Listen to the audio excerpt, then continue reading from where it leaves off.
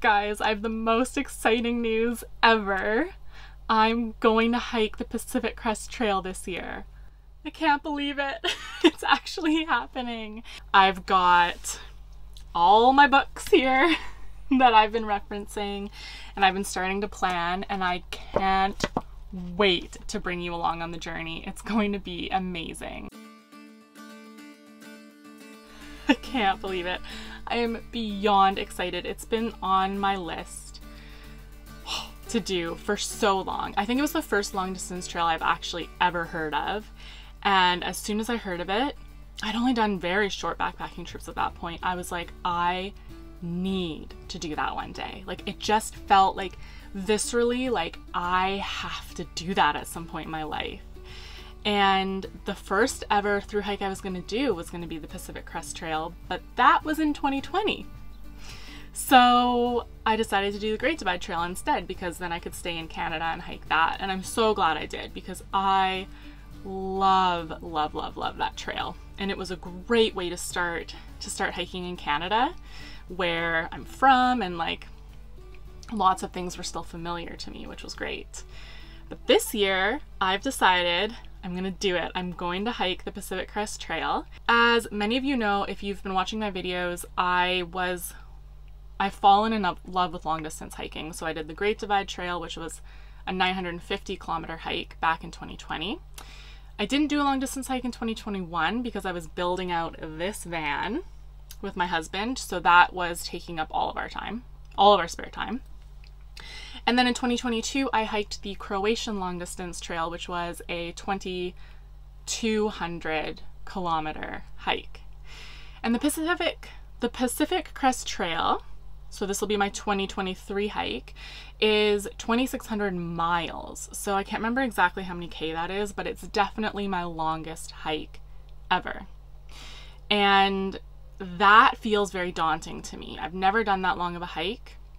And my plan is to actually hike it southbound. So I want to start at the Canada US border and then hike all the way to the US Mexico border. But that's my plan. So because I'm starting southbound, I start later. So there's lots of northbound hikers already hiking the trail, but I'll be starting later.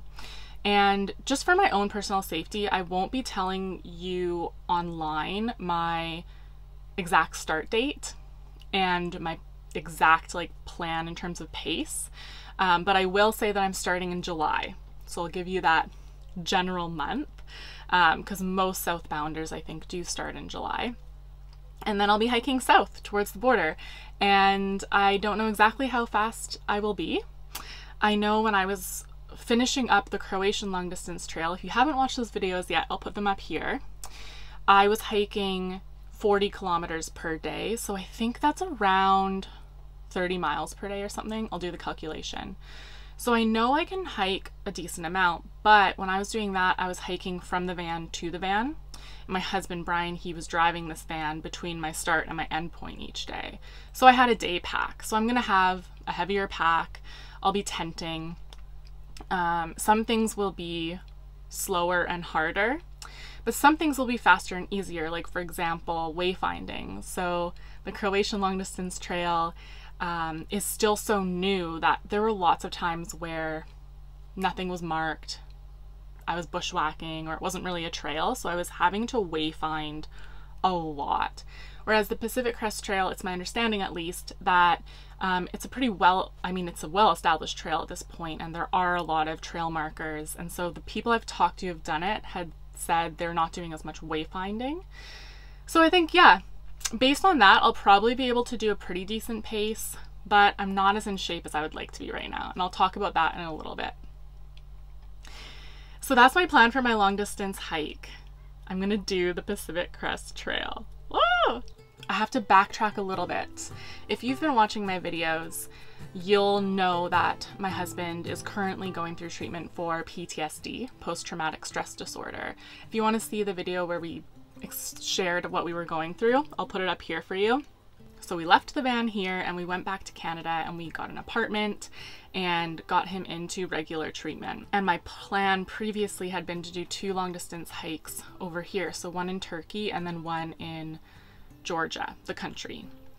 And I had planned it all out. I'd reached out to people. Like, I already mentally had planned for those to be my long distance hikes this year. And then our plans changed because that's life. you just can't predict these things. Um, and so we were back in Victoria on Vancouver Island, and Brian and I were doing some hikes together. We did the Juan de Fuca Trail, the West Coast Trail, and he was starting to really feel like, okay, I'm set up now. I've got way more support, um, and he's noticing improvements. But what I was noticing was I was feeling really lost in terms of like, okay, well, what am I gonna do this year? Like, we were, we sort of planned a year. Okay, we'll be here for a year. You can get more treatment. And then I was looking ahead at my year thinking, like, how do I also stay true to who I am and do something this year that makes me me. Because what I noticed is I lost myself a lot in the caretaking that I was doing for him. I really just sort of let myself get sort of consumed by that. And that wasn't healthy for me, wasn't healthy for Brian. And we realized like this pattern is not good. And so throughout this whole process, I was like, I know that the thing that has always consistently, always made me feel the most truest version of myself is long distance hiking. I am myself when I'm doing it. And what's so interesting is I'm also myself when I'm planning for it, when I'm looking ahead to it, and then when I'm editing my videos or writing blog posts about it. Like the entire process I feel like me.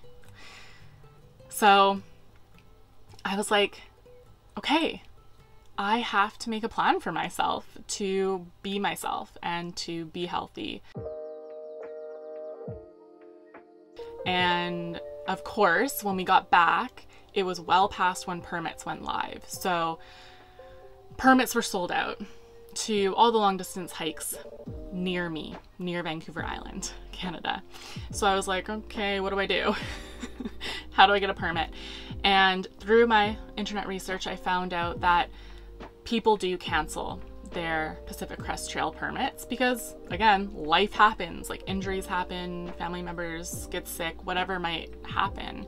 And it doesn't end up working out for you to do the hike that year. So, what I did is I checked every single day I would go, I would refresh the permit availability page on the PCTA website and look for a date that would work for me. And one day I refreshed it and there were four availabilities in July and I squealed. I think Brian was in the shower. He's like, What? What?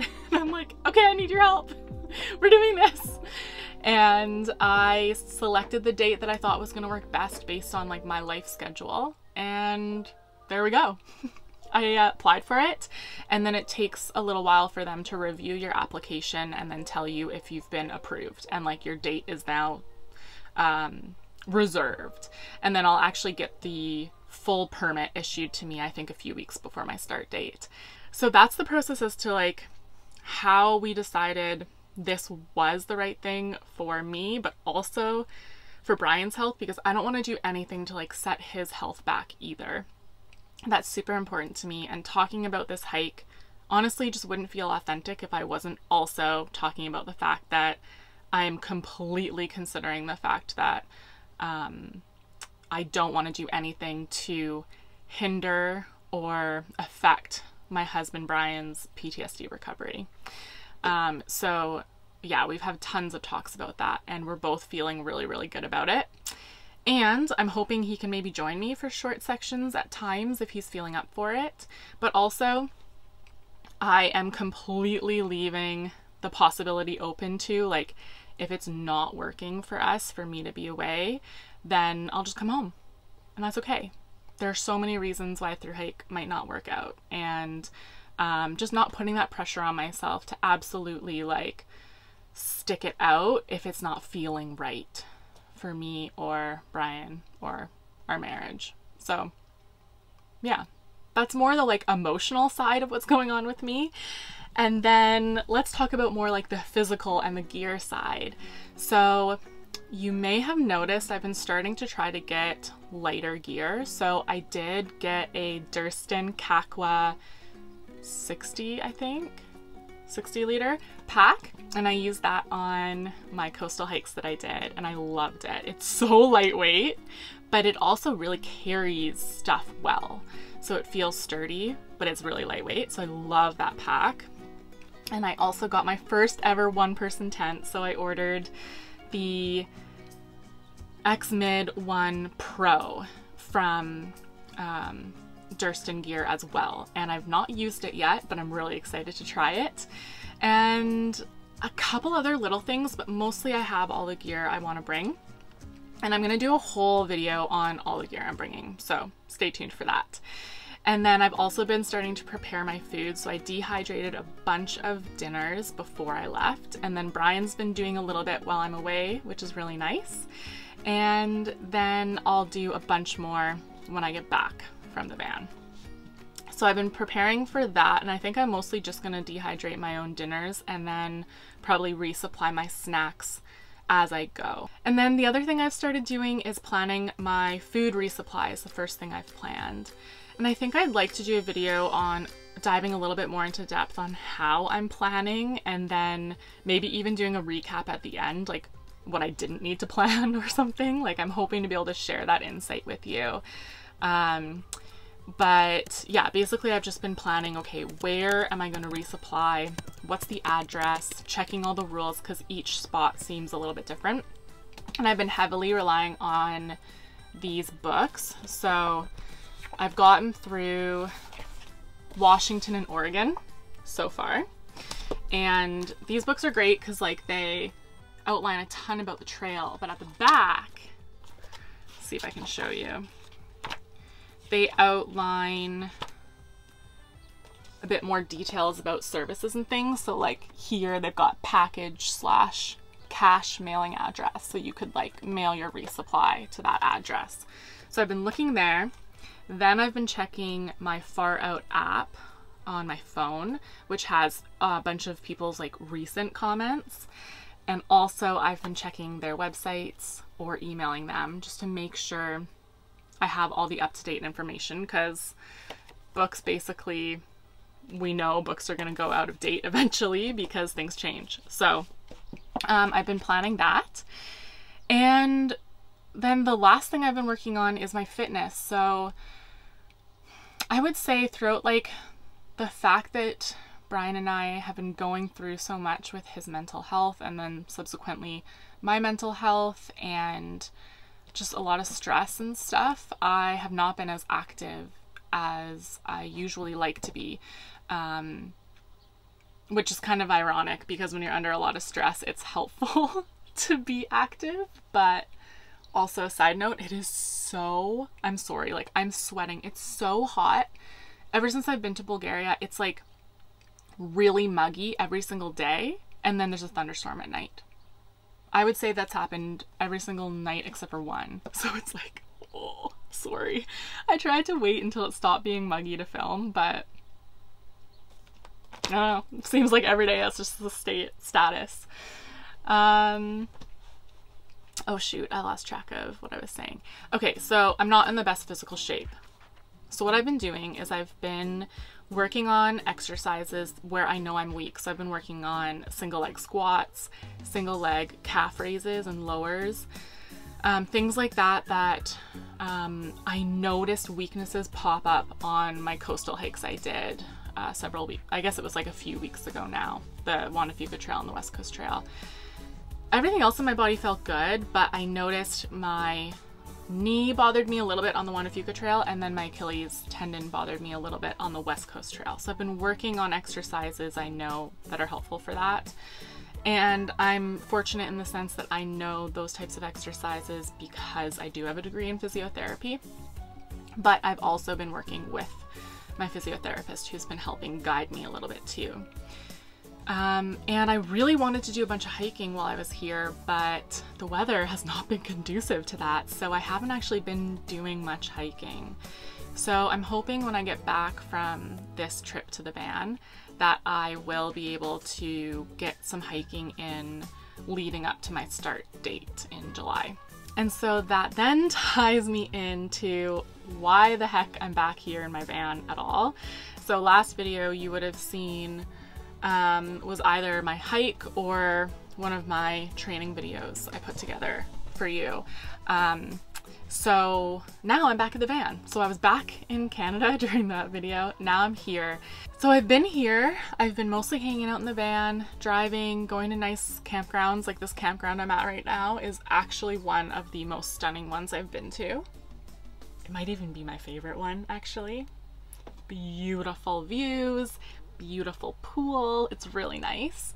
And yeah, I've been planning my hike, working on my videos, doing exercises mostly in the van because it's been so stormy. And I've been driving to places where I can hike, and then there's thunderstorms, so I'm not hiking, but that's okay. And then what I'm planning to do is bring the van to Greece to be able to store it for another six months while we figure out what we're gonna do. So, yeah, that's my update. Um, I'm going to be doing more videos leading up to Pacific Crest Trail. So I want to definitely show you all my gear, um, dive a bit deeper into how I'm planning because I've started planning the resupply, but next I'm going to start doing planning my pace and stuff and how I'm going to make sure I stay on track to finish in time and all of that. I also will be doing a lot more food prep and like packing my resupply boxes and I have a feeling you guys might be interested in that. So let me know as well if you're interested in seeing me do the re- do like a little bit more about the food and the resupply strategy. If you want me to do any other videos leading up to the start of my hike, let me know. Like if there's anything you're curious about. Okay, I can't think of anything else. I think I covered everything. I just really wanted you to know where I was at, what I was planning, what you can look forward to in terms of the content I want to share with you, the story I want to tell about this whole journey. So, yeah, thanks for watching. Thanks for sticking out this video so long. I kind of I chatted a lot, but I'm obviously really excited as you can probably tell. Um, so yeah, thanks so much for watching. If you want to go back and watch any of those other videos I mentioned, you can do so now. Um, and if you want to subscribe to my channel so you don't miss any future videos, that would be awesome. Click that subscribe button and you can even turn on the notification bell so that you don't miss an episode. And yeah, write in the comments what you want to see, what types of videos you want me to do, or what uh, what you would like to hear from me. what? I don't know what I'm trying to say. Leave me a comment. Thanks, guys. Okay, bye. Oh my goodness. Hello, it's so hot. I got thirsty talking that much.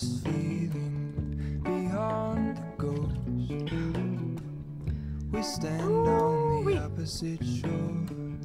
Hello, I reach through mysterious ceilings. My only hope. I look for the things that